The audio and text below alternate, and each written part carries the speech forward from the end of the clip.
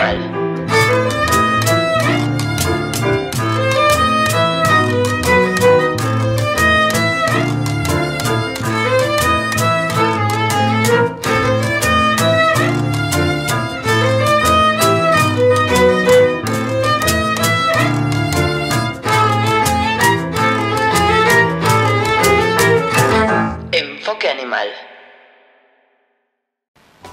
Muy buenos días, seguidoras de Teleca, y bienvenidas a un nuevo Enfoque Animal.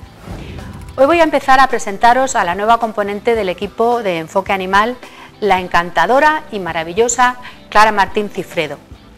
Clara estudió comunicación audiovisual porque le encanta hablar y comunicarse, pero como nos pasa a todas las apasionadas de los animales, ella ha continuado formándose y estudiando hasta convertirse en una de las poquísimas expertas en comunicación con animales que existen en nuestro país. Así es que, como podéis comprender, es un auténtico lujo tenerla en nuestro equipo y en Teleca.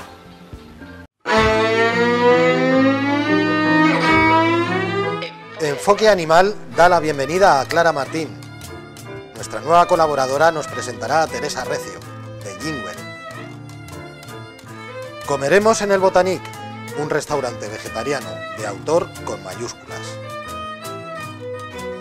Tony Isasis nos contará qué ocurrió en la presentación de Madrid Capital Animal. Hoy, en Busco Piso, hemos ido a conocer la Gatoteca, sede física de la Asociación Abriga, una asociación sin ánimo de lucro que se ha creado para ayudar a los gatos sin hogar. Enfoque Animal. Al primer sitio donde iremos eh, con Clara será a Brunete, a conocer a otra humana maravillosa, Teresa Recio. Licenciada en veterinaria por la Universidad Complutense de Madrid, posee una amplísima formación académica, solo comparable con su formación humana. Pero Teresa es otra de esas mujeres fuertes a las que su vocación, su pasión y su amor por los animales la ha llevado a seguir estudiando y preparándose en su vocación de veterinaria con medicina tradicional china y alternativas y ha terminado fundando Jing Well, un centro especializado en acupuntura veterinaria y medicina tradicional china. Vamos a poder asistir a una sesión de acupuntura con Bruce. Vamos a conocer a parte de su familia y su casa llena de buena energía. Conocerla es amarla, no os digo más.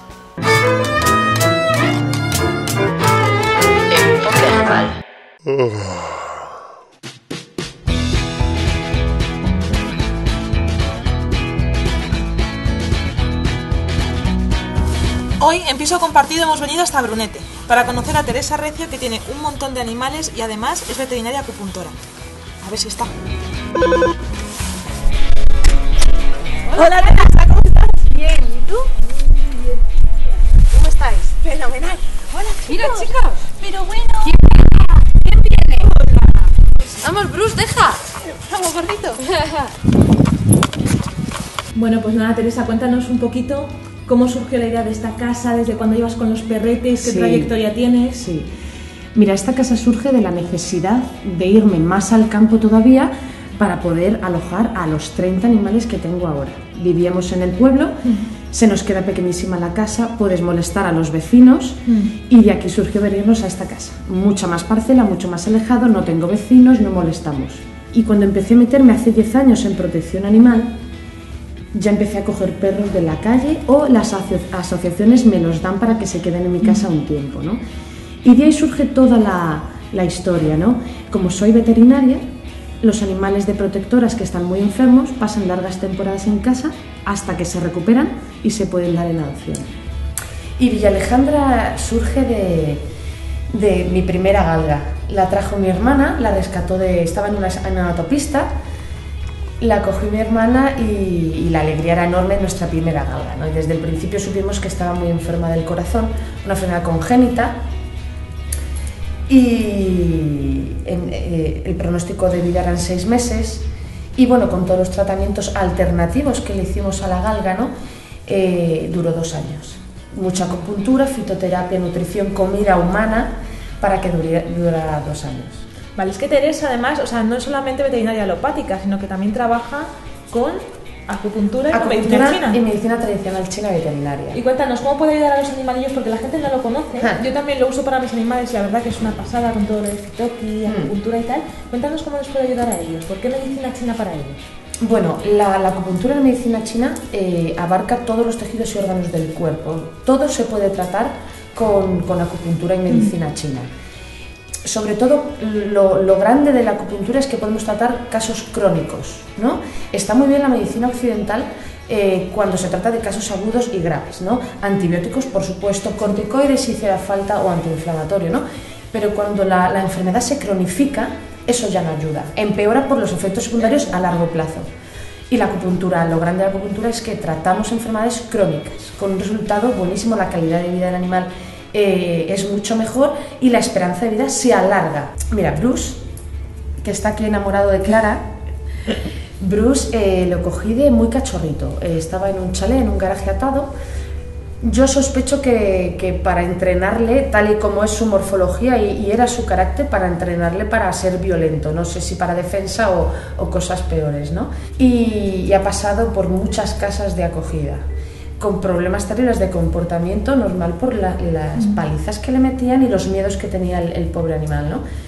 Y bueno, después de pasar mucho tiempo atado a un árbol, porque no se hacían con él en tema de comportamiento, Fíjate ahora. yo decidí llevármelo a casa para ver qué pasaba. Yo tampoco sabía qué iba a pasar en mi casa, ¿no? Mucho trabajo, mucho cariño y sobre todo rodeado de una manada, los problemas de comportamiento desaparecen. Nada de castigos, nada de gritos, nada de agresión al perro. Solamente con cariño los animales cambian, ¿eh? No hay otra cosa. Acupuntura hemos usado mucha para sus problemas de comportamiento, ¿no? Porque la acupuntura también hace que su cerebro empiece a secretar endorfina, serotonina, relaja, ¿no? Y le ha ayudado mucho. Luego supimos que tenía una lismania también terrible, empezó a, de- a deteriorarse el animal y tal, y con acupuntura y una alimentación humana, eh, bueno, recuperadísimo, ha disminuido muchísimo el nivel de anticuerpos y está estupendo ahora. Esta preciosidad. Carla. Carla es un desecho, es un abandono de, de los cazadores. Es un desecho de los cazadores. Carla en concreto vino a casa porque me llamó la policía. Me llamó la policía de Brunete para sacrificar a este perro que se lo acaban de encontrar, estaba agonizando y había que sacrificarle urgentemente por el dolor de- del animal, ¿no? Yo me lo traje a casa y antes de sacrificarle le dije, bueno, pues que coma la última cena. ¿eh? Y, y empezó a comer, a comer. Dije yo, bueno, vamos a esperar a mañana, si se muere esta noche, mala suerte. Empezó a comer, a comer. Se recuperó bastante, luego dejó de comer porque tenía el, el, el hilio paralítico, no hacía caca. Tuvimos que vaciarla manualmente y empezó a comer, a comer. Análisis de sangre, tiene lismania terrible, tratamiento occidental de glucantina Sí, sí. Y mucha acupuntura, mucha recuperación y, y ha engordado 5 kilos, ¿no? que mira, tampoco está tan grande, ¿no? Pero bueno. Ha, ha ganado este ojito, este ojo estaba perdido y le volvió a ganar bastante, no se lo hemos tenido que quitar. Y está estupenda. Ella me equilibra la casa, ella es un punto fuerte de apoyo para todos los animales. Falta una ratoncita, ven aquí, Lorena. Lorena, Lorena. ¿cómo estás? Lorena ha sido mi, último, mi, mi última acogida de, de desecho de, de cazadores de este año. Me llamaron porque estaba paralítica, no se movía el tercio posterior y tal. ¿no? Y bueno, la verdad es que en ese momento eh, el menor de sus problemas era que estaba paralítica. Más tarde descubrimos que lo que tenía era piómetra, infección de útero, por lo cual corría riesgo su vida. Y tenía una hernia diafragmática que hacía que los intestinos estuvieran en el pulmón, el pulmón muy bajo y no podía respirar. ¿no? Y había que solucionarle todo esto. ¿no? Lleva dos cirugías, me falta una de un tumor de mama que tiene y con acupuntura eh, salió andando, en dos meses salió andando con acupuntura del traumatismo que tenía por un atropello. Y luego ya ah, des- descubrimos todo lo que tenía en el cuerpo que había que operar. ¿no? Es un abandono de, de cazadores también. ¿Y con quién vamos a hacer tratamiento hoy? ¿Con quién empezamos tratamiento? Yo creo que Bruce, le toca a Bruce un poquito reforzar el sistema inmune, luchar contra esa lismania y creo que Bruce va a ser hoy el candidato. El candidato para hacer. Pues nada, vamos a poner- con Bruce a hacer acupuntura.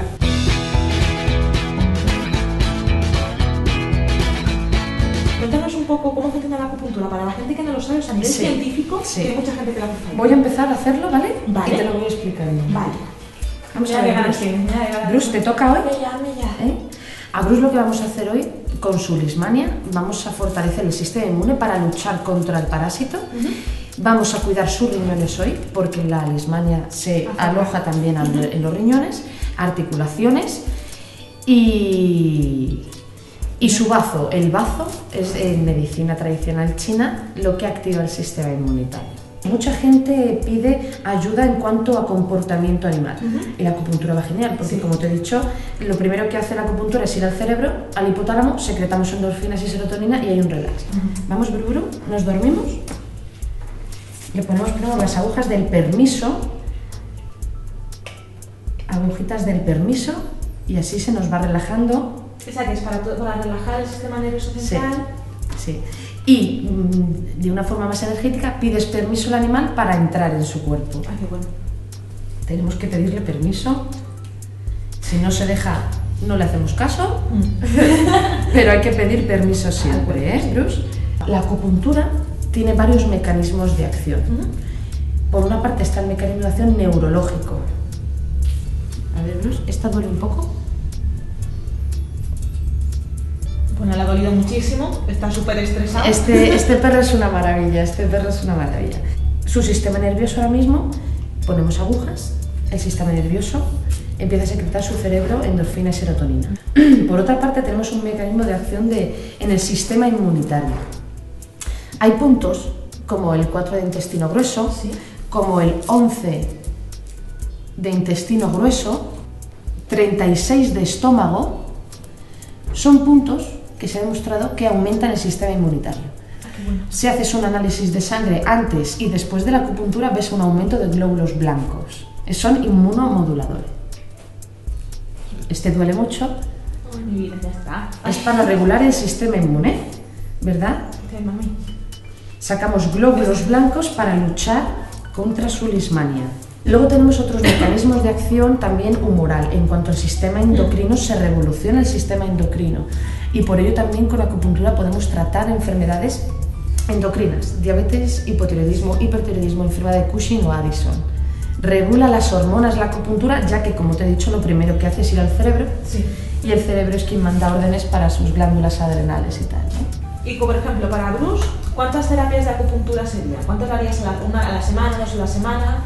Mira, ¿Cómo irías a lograrlo? Cuando el animal me llega a mí, por desgracia ya está bastante enfermo, hay que verles como poco una vez a la semana. El dueño te va hablando, el dueño del perro te va diciendo que va mejorando, va mejorando. Entonces, en cuanto hacemos 3-4 sesiones una vez a la semana, la mejora es suficiente como para alargar las sesiones a cada 15 días, cuando estamos en mantenimiento una vez al mes, incluso cada 2 y 3 meses.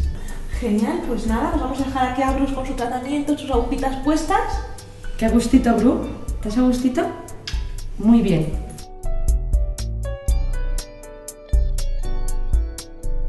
Para todos los que os haya picado así el gusanillo de la acupuntura y habéis visto todas las posibilidades que tiene, os recomiendo a Teresa que es maravillosa. Y ahora os dejamos porque vamos a comer una empanada vegana que ha hecho, que Carla se la va a comer también conmigo. Y nada, nos vemos en la próxima sección. ¡Hasta luego!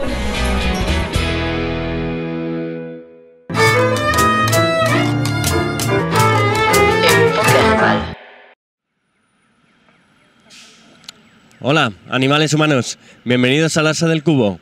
Estamos en la Casa Encendida.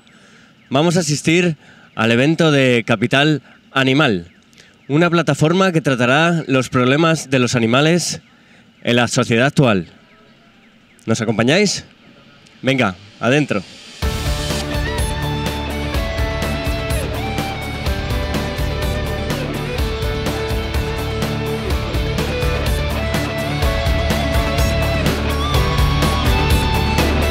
La primera edición de Capital Animal tendrá lugar en Madrid entre abril y junio de 2016.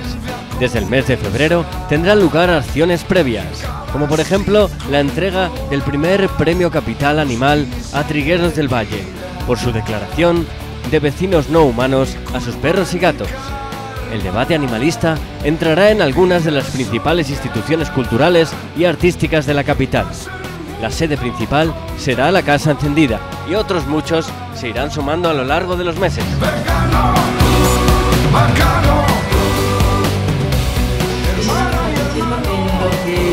Va a durar, sé que es un, puede parecer un golpe de efecto, pero quiero que lo sea, en lo que va a durar esta rueda de prensa en España, en este mismo instante, en estos minutos que ya llevamos y en los que faltan hasta que termine este, este acto, están muriendo de una manera violenta, terrible, triste, pasando un frío terrible, pasando una soledad terrible, siendo separados de sus madres, siendo separadas de sus hijos las madres, miles de animales en España. Y realmente hay que empezar a considerar a los animales iguales, pero iguales en todo, iguales en inteligencia, en sensibilidad, en derecho a la vida.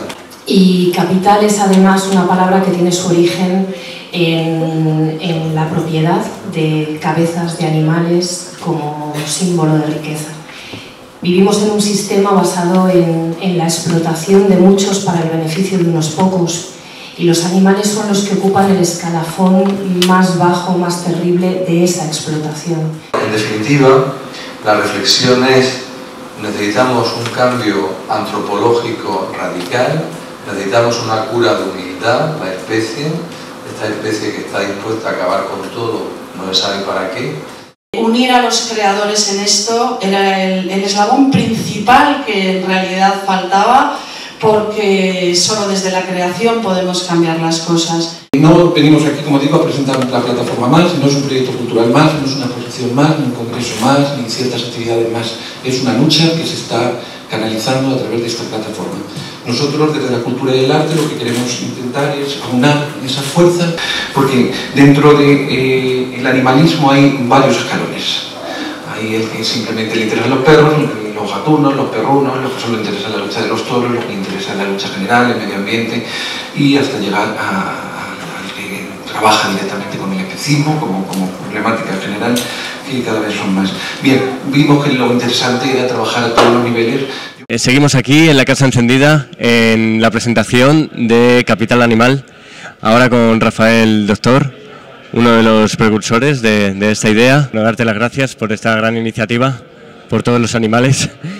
Y también quería preguntarte, el, arte, eh, para ti, eh, ¿qué, ¿qué, papel debería representar en la sociedad? Y el arte tiene una función gigante, todas las personas tenemos un sentido de creación que tenemos que, que, que amplificar, que tenemos que potenciar y, y, bueno, ese es el arte verdadero que, que, a mí me interesa cuando hablo de arte en estos temas. ¿Qué nos deberíamos de plantear los seres humanos para, para intentar eh, empatizar, digamos, eh, ser un poco más compasivos? Eh? Darnos cuenta de que estamos en una fase nueva que debemos entrar si no sucumbiremos, que igual que antes a las mujeres no se les concedía alma, ni a, las, ni a los de otras razas, a los negros, hasta hace nada prácticamente, a las mujeres todavía en otra sociedad, a los maricas tampoco se nos, se nos aceptaba. Eh, y tampoco todavía en, mucho, en nuestras ciudades. De la misma forma, estamos en un estadio que quiere esa igualdad no solo por, por género o por, especie, eh, por, o por raza, sino por, o por creencias religiosas, sino por, por especie. ¿no? Tenemos que dar ese paso y porque es la base de toda, de toda nuestra disfunción y de nuestro abuso con el sistema. Es la base de este cambio climático, es la base de la injusticia que ya damos por normalizada. Y cuando nos damos cuenta que eso eh, que ahora vemos como que es imposible dejar de comer carne porque todo el mundo se ha hecho. Es lo mismo que decían cuando hace 200 años hablaban de los esclavos, no, es que se cae un sistema, se cae el sistema de explotación en el que se basa en los privilegios de unos pocos. Aquí estamos con Ruth Toledano. Muchísimas gracias por atender a nuestras preguntas. Muchísimas gracias a vosotros por, por estar aquí y por el trabajo que hacéis también en defensa de los animales. Perfecto, perfecto. Bueno, eh, preguntarte eh, las iniciativas que estáis sacando aquí, la, propuesta de Capital Animal, salió de, de vosotros. A mí siempre me había llamado la atención que un debate y una cuestión que ya se estaba tratando, por supuesto, en la calle y en la sociedad, pero que ya había llegado a otros ámbitos como, por supuesto, la universidad, el pensamiento. Sin embargo, el mundo del arte no se había sumado de una manera explícita, no había habido una iniciativa, digamos, institucional que recogiera, que recogiera esta, esta problemática. Es cuestión de meterles un poquito, hincarles un poquito ahí en la llaga para que que, bueno, que eh, participen. No solo, no, no me refiero a los artistas que ellos ya por su sensibilidad, sino a las instituciones. La verdad es que tenemos que decir que, que ha sido mucho más mucho más fácil de lo que de lo que creíamos. Es verdad que lo que ofrecemos es algo enriquecedor para no solo para la sociedad, para la ciudad de Madrid, pero también para las propias instituciones. Es, es ofrecerles unos contenidos que, que, no habían entrado mm, de una manera organizada. Y, y las instituciones siempre van un poquito por detrás, pero pero bueno, ha llegado el momento de que también se suban a, al carro de, de un mundo mejor. Claro que sí, un mundo mejor. Es lo que queremos todos, ¿verdad? Bueno, más en las capitales grandes que en, que en los pueblos, que yo soy un pueblo pequeño y de cazadores y todavía cuesta bastante ver algún tipo de cambio, aunque solo sea a nivel de, de, de bienestar animal, ¿no? ¿Qué te, qué, qué bueno, te tengo, que decirte, tengo que decirte una cosa al respecto. Es verdad que el mundo rural, bueno, pues todavía, en el mundo rural todavía se mantienen algunas cuestiones cotidianas que son violencias terribles y que lo que pasa es que se ven más, sencillamente es eso. En la ciudad no las vemos, pero si tú vas a cualquier supermercado, a cualquier tienda aquí alrededor, pues no tienes más que mirar los estantes y mirar las neveras y verás que, que bueno, ahí hay una violencia terrible, lo que pasa es que está empaquetada. Cuando empecé a sentirme incómodo con las estructuras musicales del flamenco, pues al poco tiempo comencé a sentirme incómodo con las estructuras sociopolíticas del flamenco y lo que se suponía que debería de ser un cantador.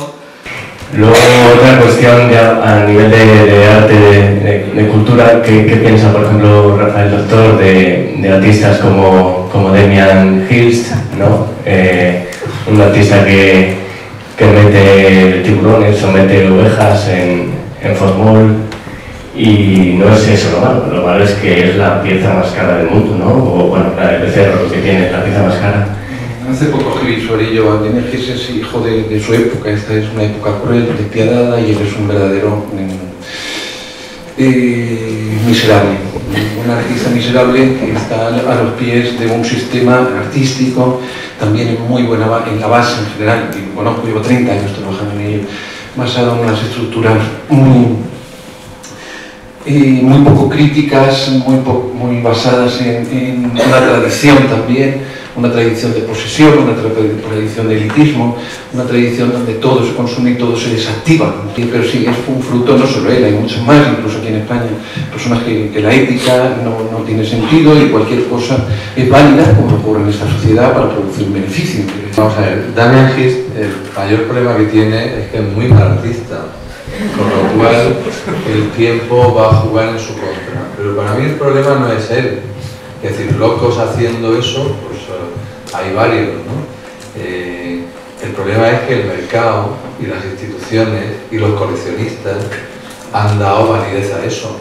Está muy bien que lo hayas puesto de ejemplo, porque es donde, por lo menos yo, que llevo en el mundo del arte más de 30 años, eh, veo eh, el epítome de la corrupción del mundo del arte. Ahora vamos a hablar con Paco Catalán, el ilustrador, pintor, eh, grabador. Lo primero que queríamos darles es las gracias porque Paco Catalán nos ha cedido amablemente sus ilustraciones eh, bueno, para um, un poco ilustrarnos, valga la redundancia, en nuestro programa, nuestra sección de, del Asa del Cubo, la sección cultural de, de, Enfoque Animal. Eh, bueno, Paco Catalán, muchas gracias. Gracias a vosotros y además eh, gracias porque esas ilustraciones mías que sacasteis, la verdad es que me, enc me encantó verlas. Así, bueno, hoy estamos, eh, es la, el, el, pistoletazo de, de, de salida de, de, este proyecto tan maravilloso que es Capital Animal. Y bueno, pues eh, yo he puesto mi pequeño grano de arena con, con unas viñetas que ya las tenía hechas, ¿eh?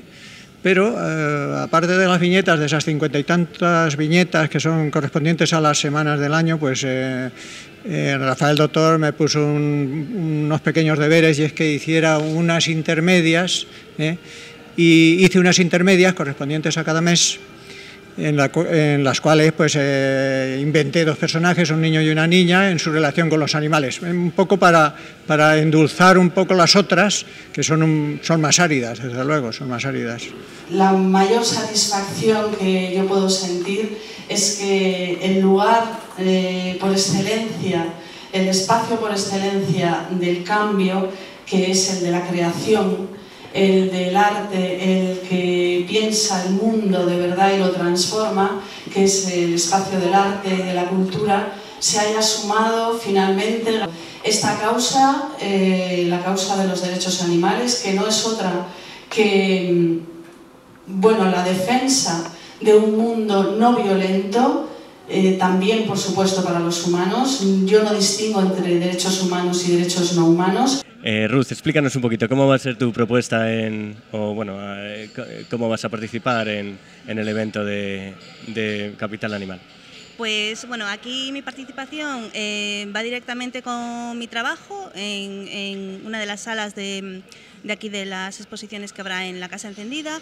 Luego también participaré en la exposición que tenemos en la calcografía. Y luego también, pues bueno, estoy, tengo la gran suerte de, poder participar de cocomisario junto a Rafa Doctor en la parte de, la, de lo que sería aquí en la Casa Encendida la parte de respuestas. ¿no?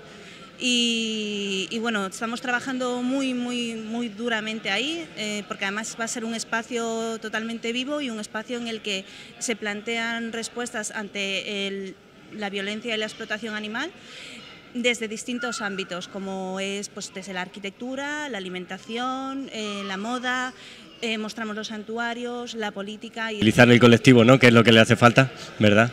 Por supuesto, y nosotros desde, desde el activismo puro y duro, puro y duro, porque creemos en ello y de, y de hecho esta sala es, es para eso, sobre todo, ¿no? Para, para hacer que, el, espectador o, el visitante, la persona que venga, eh, se vaya, se vaya con, esa carga de activismo que nosotros queremos transmitirle y de hecho el espacio va a estar vivo, es decir, vamos a estar durante todo el mes que dura la exposición, distintas personas que participamos en, la formación del proyecto Capital Animal y, personas que participan también desde la parte expositiva. Tengo los pelillos de punta ya de, lo que me estáis diciendo ya tanto. seguiremos en contacto. Por supuesto que no nos lo perdemos. Muchas gracias. Nada, gracias a vosotros, de verdad. Gracias. Ahora tenemos a Santiago Talavera, que es otro de los artistas eh, multidisciplinares, ¿no? que va a trabajar aquí en, Capital Animal. Cuéntanos un poco cómo va a ser tu propuesta.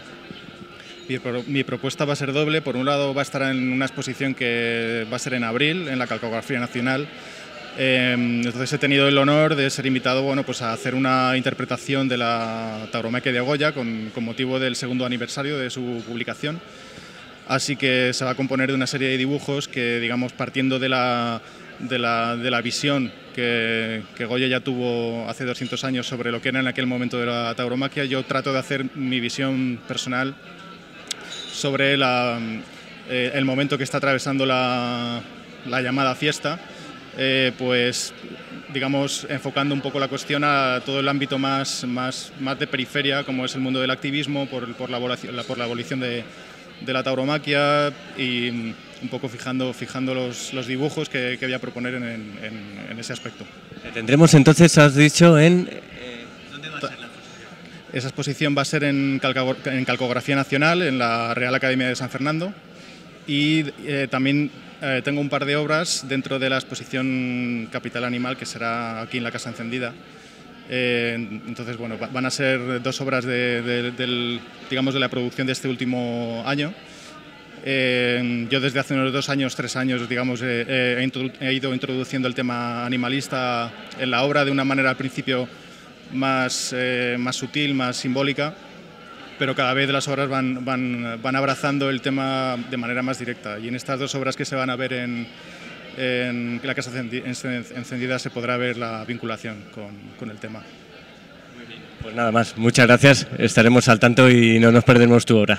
Gracias. Esto es un, una gota de agua en el océano, un grano de arena, pero que pretende ir sumando granos de arena para construir, como han dicho antes, un mundo menos violento, un mundo más interesante para los hombres, donde realmente podamos sacar provecho de nuestras capacidades intelectuales y culturales y no de, de nuestras incapacidades eh, e insensibilidades y que por lo tanto todo lo que se sume será bienvenido.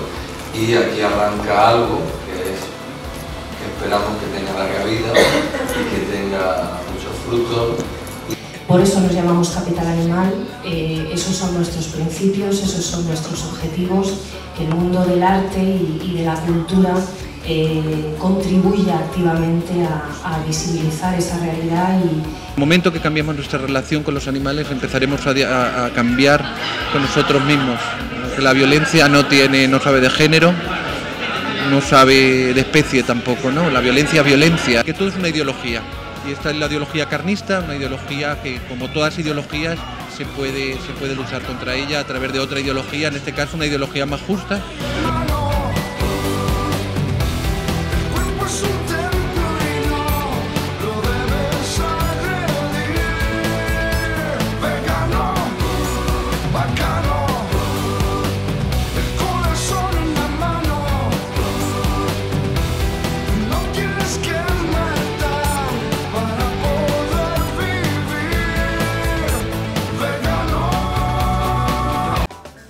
Maravilloso está cambiando en nuestra ciudad.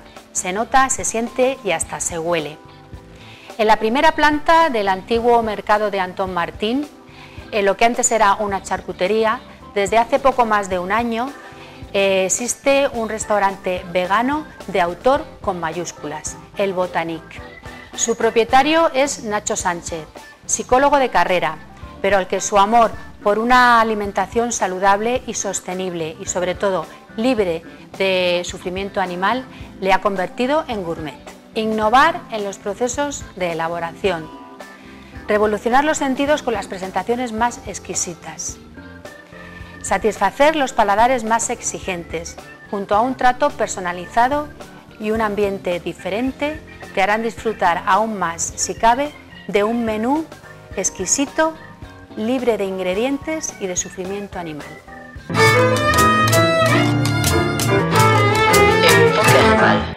Hola, soy Clara y a partir de ahora voy a sustituir a Valerio en la presentación de Enfoque Animal. Hoy nos hemos venido al mercado de San de Antón Martín para presentar un restaurante pequeñito pero bien chulo.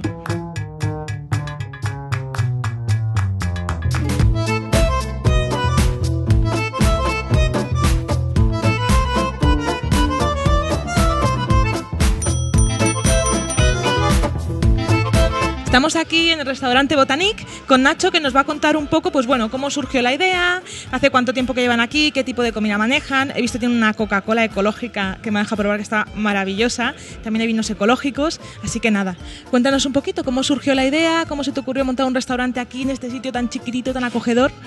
Bueno, lo primero de todo, estamos dentro del mercado de Antón Martín. Mercado de San de Antón Martín. No confundir, por favor, con el mercado de San Antón, etcétera. Es mercado de Antón Martín, en la primera planta. Eh, el restaurante efectivamente se llama Botanique y tenemos un concepto que es, bueno, comida toda totalmente vegana, no hay nada de procedencia animal.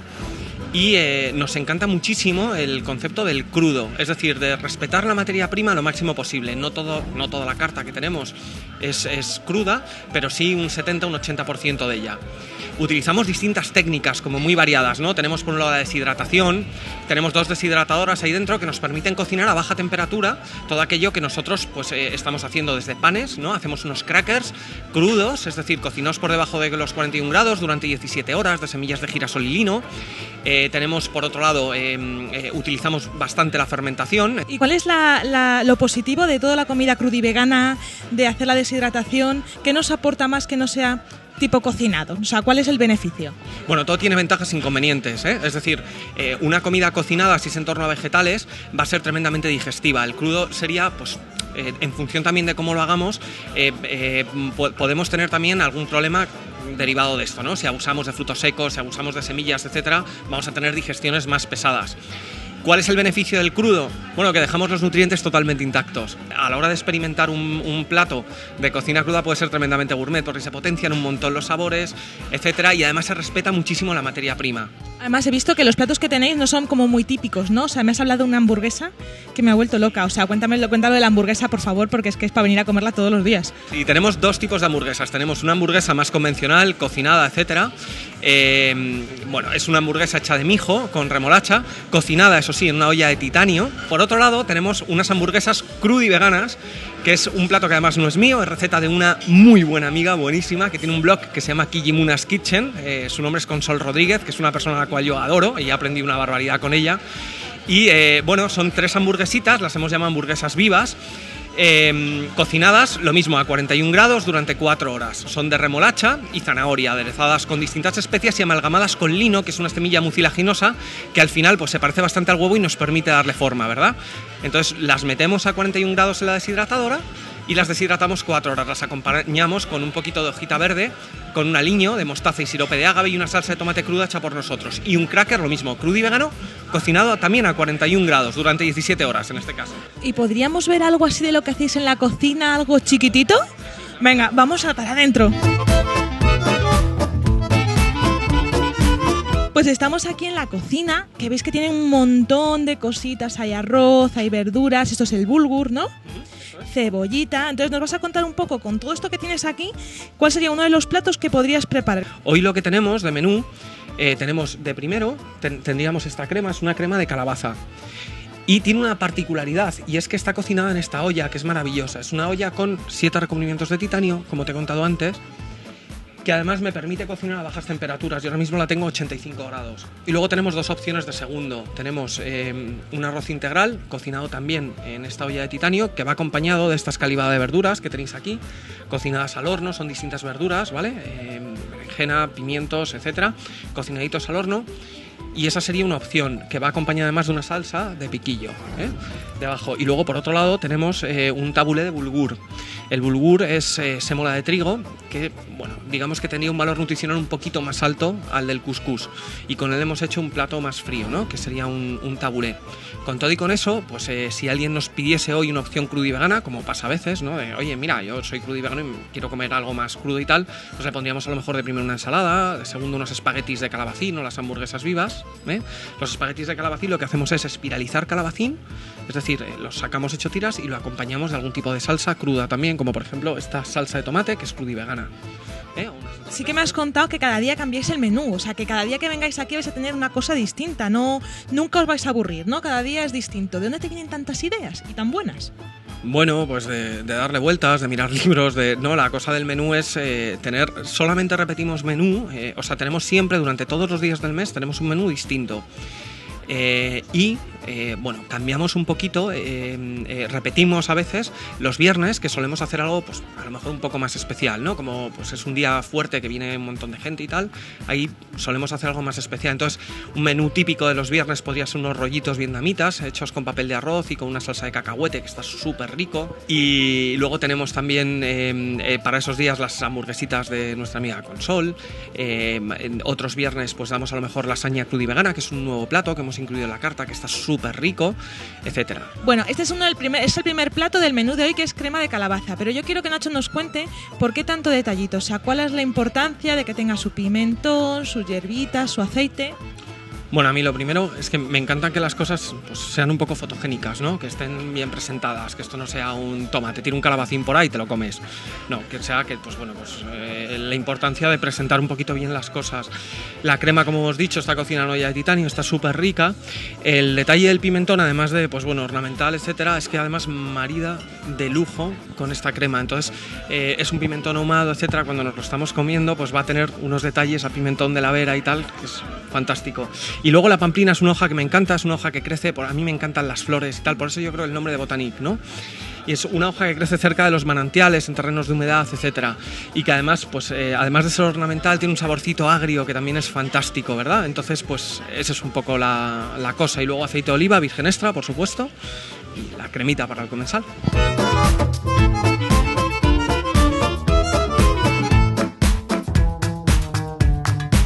Chicos, perdonad que os moleste, que os pillo aquí en mitad de la comida. Contadme un poquito, ¿cómo habéis conocido este restaurante? ¿Sois veganos? ¿No sois veganos? ¿Por qué venir a comer a un vegano? Bueno, este re- restaurante es mi restaurante favorito de Madrid, ¿vale? Porque no solo es vegano el Botanic, sino porque es súper saludable. Yo llevo siendo vegana ya bastantes años, pero además, sobre todo por la conciencia animal, por supuesto, porque los animales no son ingredientes, no son comidas, como si te tienes que comer un cacho de madera, no es tu alimento. Pero vamos un poquito más allá y además nos preocupamos porque la comida que comemos pues también sea saludable, porque luego también hay muchos restaurantes veganos pues que tienen mucha soja, tienen productos que tampoco son sostenibles con el medio ambiente, no son buenos para nuestro cuerpo.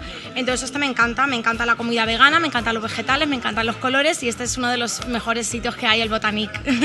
Pues muchas gracias, os dejamos que sigáis comiendo aquí, que os hemos pillado así un poquito salto de mata.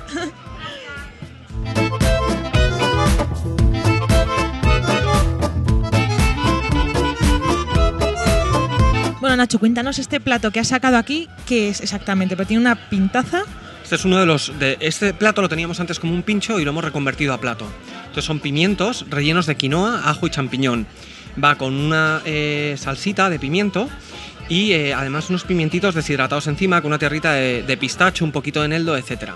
Están súper ricos. ¿eh? Este es un plato que antes de, de, empezar una alimentación más consciente, etcétera, yo mi plato favorito eran los pimientos rellenos de bacalao. Entonces lo que he hecho ha sido veganizarlo y meterle este relleno que está súper rico también.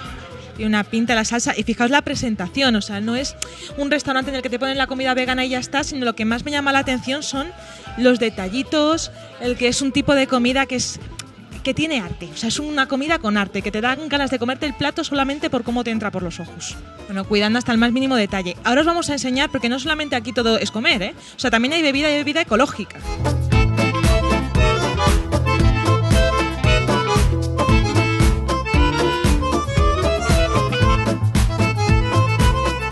Ya tenemos la comida aquí, que vamos a empezar a comer dentro de nada, pero quiero que toméis detalle de esto.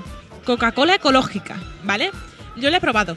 Sabe prácticamente igual que la Coca-Cola, solo que encima no lleva tantos azúcares, sino que lleva cosas naturales. Veo aquí que lleva agua carbanotada, azúcar de agricultura ecológica, edulcorante, ¿vale? Pero es una Coca-Cola mucho más sana que la Coca-Cola normal.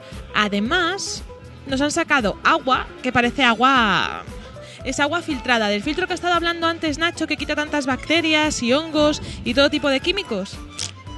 La salud está en el agua. Y un vino biológico, ecológico y vegano además. O sea, vamos, nos vamos a poner aquí, no os imagináis. Así que nada, con esto acabamos la sección de hoy, ¿vale? Vamos a comer esto que está súper rico y en la próxima nos vemos y os contaremos más cosillas. ¡Hasta luego!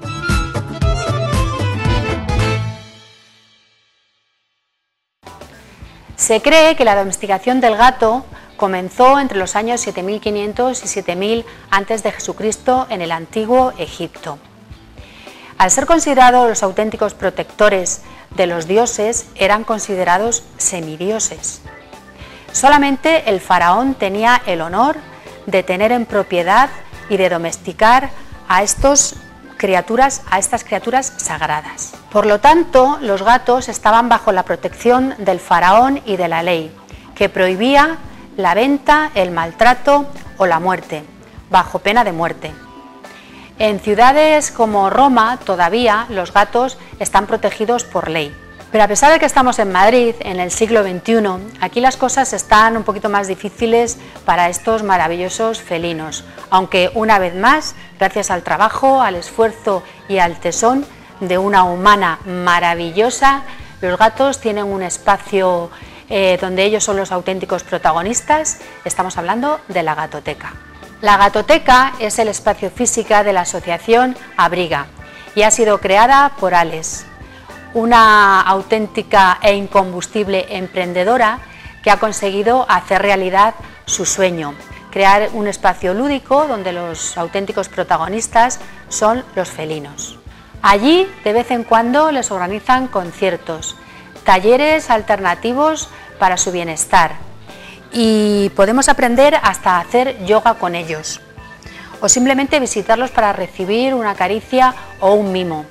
Y si en medio de todo esto surge el amor, te puedes ir de allí con un compromiso de adopción. ¿Puede existir mayor privilegio que ser amado por un semidios? Enfoque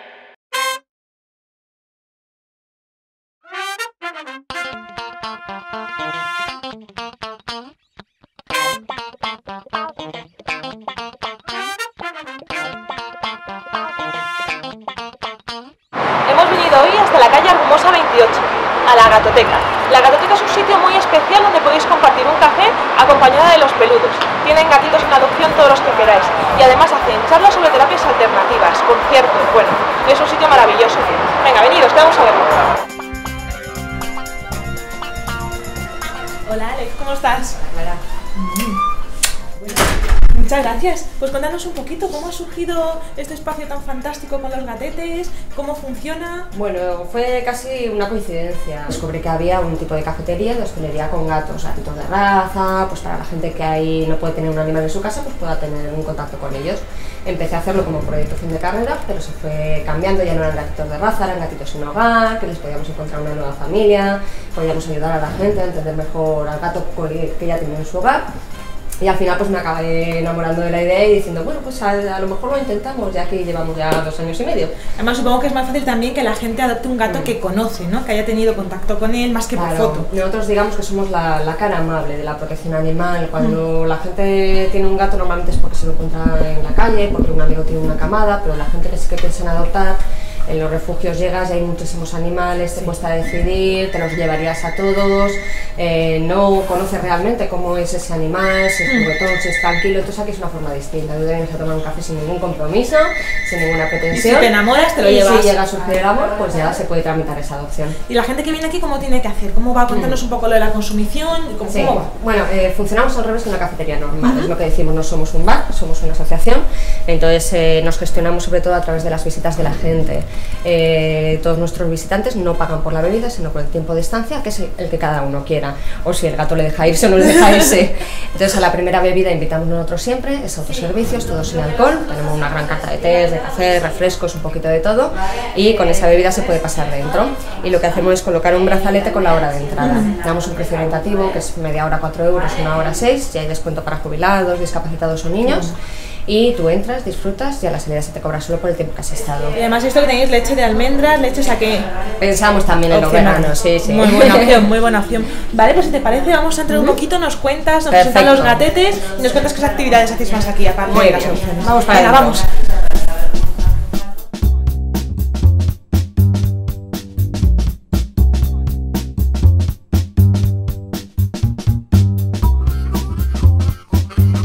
Cuéntanos, ¿desde cuánto tiempo, o sea, cuándo abristeis esto? ¿Cuánto tiempo lleva abierto? Pues eh, conseguir llevar a cabo el proyecto nos costó casi dos años y abrimos el 15 de octubre de 2013.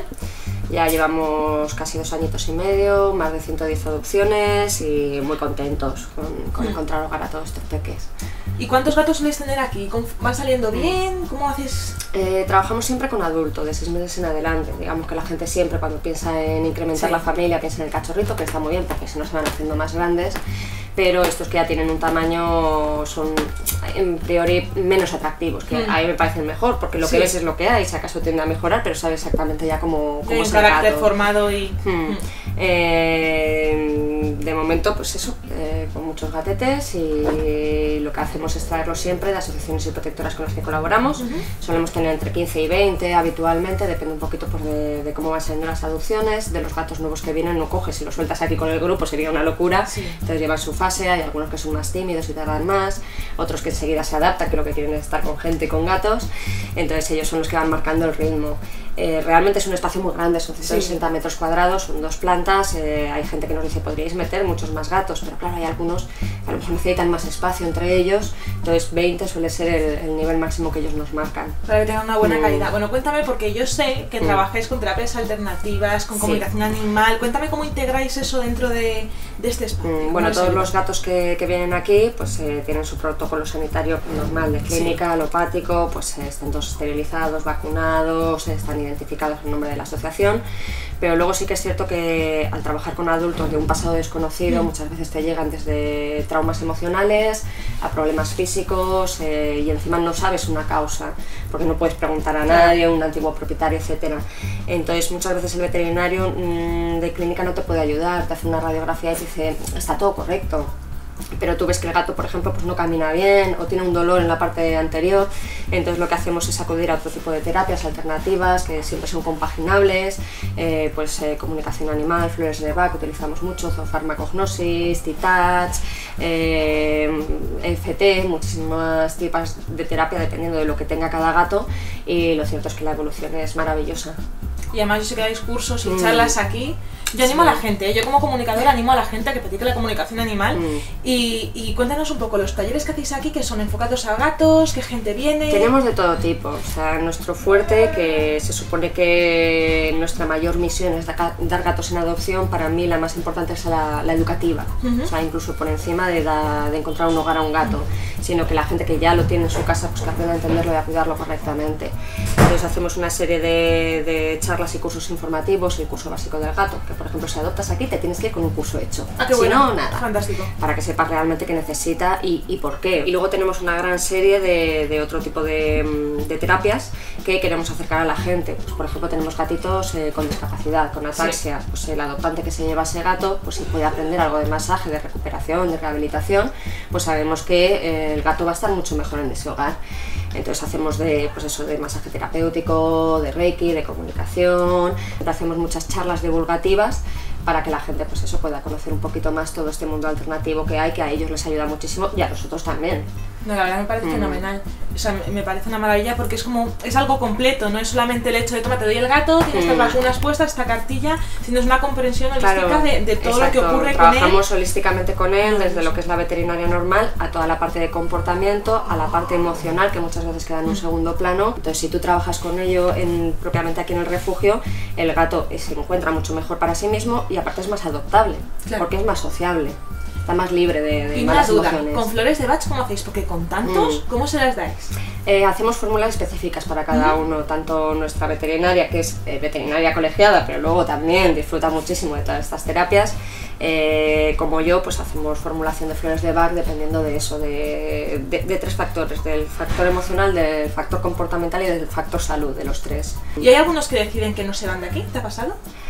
Alguna vez nos ha pasado que nosotros retengamos algún gato sin querer, e incluso tener que hablar con los voluntarios y con el equipo en plan, cariño, os tenéis que soltar a este gato. Sí, el tema es que vayan saliendo para que Sí. puedan ir entrando más y se pueda Claro, a todos. claro, esto es un paso intermedio. Aquí el- todos los gatos que vienen es porque quieren venir y porque saben que es un, un medio para encontrar el lugar a donde tienen que ir realmente. Y la gente respetuosa, o sea, ¿qué normas hay aquí? Cuéntanos un poco las Bueno, normas, sí. porque no es venir, coger al gato, le toco, o sea, ahí Mm. hay que respetarse. Exacto, la norma principal y básica que recordamos siempre es no coger un gato en brazos, retenerlo, alzarlo.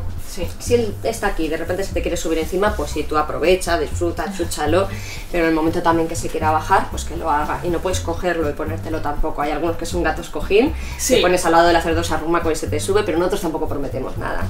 Sobre todo esa es la más importante, no darles comida de fuera, jugar con respeto, intentar no jugar con las manos, porque son gatos que luego se van a ir a una casa, entonces pues Claro. pueden viciarse un poquito pues a que esto es un juguete. Esto que también tenéis libros, o sea, que la gente puede venir aquí, aparte de tomarse un café, se Mm. coge un librito, se pone a leer, Sí. disfruta con ellos. Exacto, tenemos también un acceso gratuito a wifi, por ejemplo con los libros queremos iniciar ahora en abril un crossbooking, Ujú. que la gente pueda venir con libros e intercambiándolos aquí a través de un donativo y así pues mira, ganamos todos. Fantástico, pero enseñanos un poquito, porque veo que tenéis todo adaptado. Sí, esto está adaptado tanto para humanos como para gatos. Tiene sus eh, rascadores, árboles hasta el techo, tiene sus fuentes de agua, su pienso, sus areneros y luego los humanos pues mobiliario cómodo para poder Para aquí, para echarlos.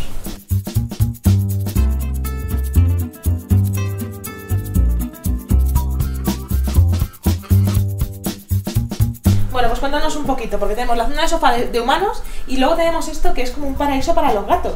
O sea, ¿de dónde viene todo esto? ¿Cómo lo usáis? ¿Cómo lo integráis Mm. dentro del espacio? Bueno, vamos haciendo poquito a poquito, pues por ejemplo tenemos los rascadores, estos que son maravillosos, son artesanales, eh, los pedimos a Alemania, no te digo más. Eh, luego intentamos hacer pues, sistema de enriquecimiento ambiental a través de baldas por las paredes, para que ellos por una parte puedan hacer ejercicio, pero también tengan vías de escape, eh, para que la gente tampoco les toque mucho las narices, pues coge y me voy.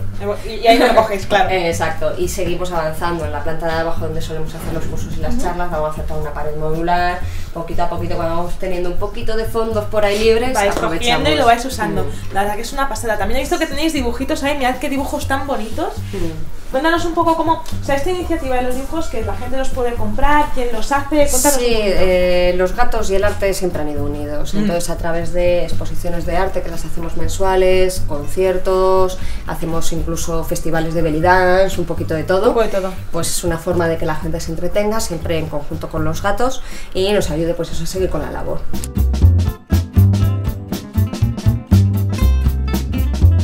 Cuéntanos, ¿qué actividades tienes ahora sí para el mes de abril y demás para que pueda venir la gente?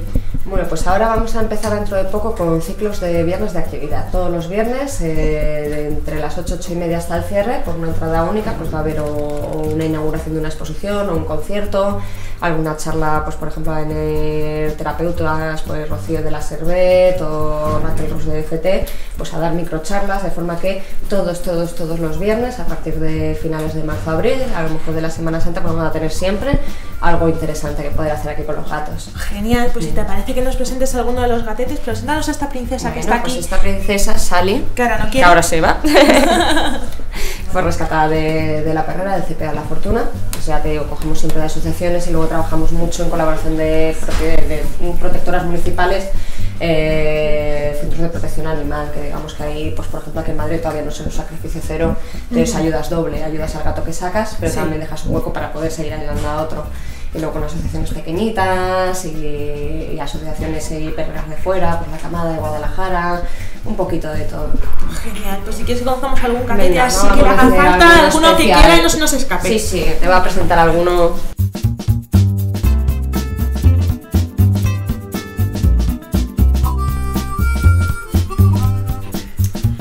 Esta es Audrey. Cuéntanos, es un caso especial que tenéis aquí para que Sí. los conozcáis un poquito, a ver si alguien se enamora de ella, que como veis es una princesita Mm. más rica. Audrey viene de, de un caso de Collado Villalba, una mujer que se dedicaba a gestionar una colonia y enfermó. De hecho, todavía sigue hospitalizada y entre los gatos que cuidaba de dentro y de fuera y unos cuantos que tenía domésticos, pues antes de que pudiese ocurrir algo malo eh, y no se pudiese hacer cargo de ellos, pues han venido aquí un par, eh, Gabriel que está en recuperación y esta pequeñita Sodri, que tiene la pobre dos otomatomas. Mm. Tenemos que pasar a hacer cirugía estética, pero si ahora es mona, va a quedar todavía más mona. Y es esto lo que ves, es un Qué rica. pompón, es una gatita de regazo y es súper amorosa. ¿Y qué tiempo tiene? Más o menos, pero supongo que Pues es- creo que Audrey tiene unos 4 o 5 añitos. Bueno, es un poquito más mayor, mm, unos 7 creo. Que llegan tantos. que- Sí. Esto es lo bueno de adoptar. Cuando adoptáis ya un gato adulto, ya tiene un carácter hecho, ya sabéis cómo funciona. No es lo mismo que adoptar un cachorrito, que yo sé que siempre hace más ilusión, pero un cachorrito siempre os puede variar un poco el carácter. Y a lo mejor cogéis un gatito súper amoroso que cuando crece, pues a lo mejor ellos, hay muchos que son muy independientes, tienen su Mm. carácter y como que la gente tampoco sabe respetarlo, ¿no? Claro, por una parte tiene su, su herencia genética que ya Mm. hace que sean más activos, menos, etcétera, pero luego también a un cachorrito es un bebé. Entonces, como a un bebé humano, eh, ya no digo la palabra educar, que no me gusta utilizarla, pero sí marcar límites, eh, premiar las buenas conductas, siempre en trabajo en positivo, pero hay que trabajar con ellos, tienes que tener horas al día y luego cada uno también, pues eso, genéticamente puede tener su carácter, aparte del condicionamiento de, de- de la infancia, los tres primeros meses son, Son fundamentales. fundamentales. Entonces con el gatito adulto dices, si Odre es así, luego no va a estar en casa pegándote bocados. Claro. Porque es- esto es lo que hay. Y si- es así, rodeada de otros 18, 19 gatos, con gente que le visita, etcétera, pues imagínate ya en una en casa, casa con un solo vínculo. contigo. Hmm. Es una locura. Pues si alguien se anima con Audrey, mira, no me conoce de nada, ¿eh? O sea, tú no estás preparado, no me conoce de nada. Mira qué rica es. Pues nada, yo os animo a que vengáis para acá, que compartáis un cafetito con los gatos, que si os animáis adoptéis alguno, que vengáis a las actividades que hacen, que ayudéis a Alex y yo creo que es un proyecto que merece la pena. Así que nada, mucha suerte. Y nos seguiremos viendo por aquí, porque yo vengo siempre a tomar café aquí, o sea que...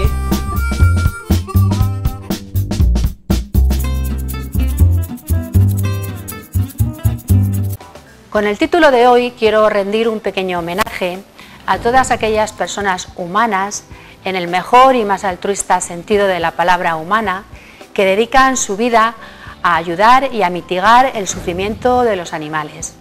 En especial a todas y cada una de las que han pasado por este programa, que nos han eh, desinteresadamente ofrecido su tiempo, su sabiduría y su bien hacer. Y en especial a mis compañeros Vitas, Paula Rubio Infante, que acaba de recibir el premio Ojo Crítico a las Artes Plásticas, a Tony, a Sergio, a Valerio, que se nos ha ido a Italia, a Oscar, el alma de Teleca, ven acá Oscar, ven acá, no te escondas.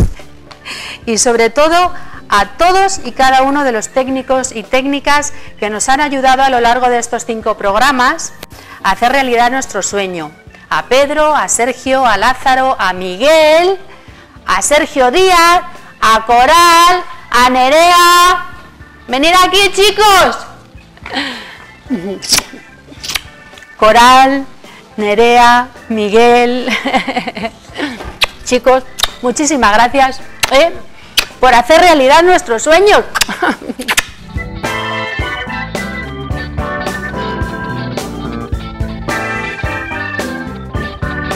Bueno chicos, que mañana si queréis ir a misa católica de las 12 con Leo Basi, pues vais. Y si no, os quedéis en la cama tan ricamente. Tampoco pasa nada, ¿no? Tomaremos nota ya. Tomáis nota, ¿no? Bueno, seguro, seguro a la Iglesia Católica.